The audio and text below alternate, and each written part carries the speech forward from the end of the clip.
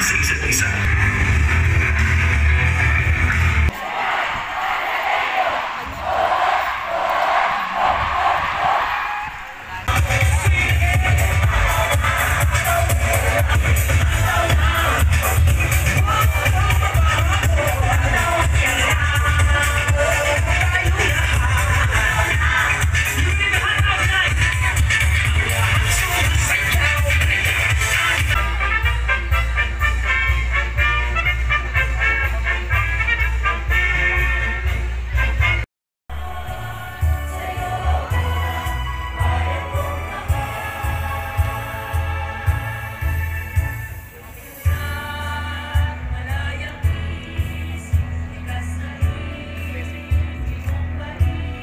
Naman po, yung matikas na taga Maria po na salamin, nasabi niya, batiin ko po siya.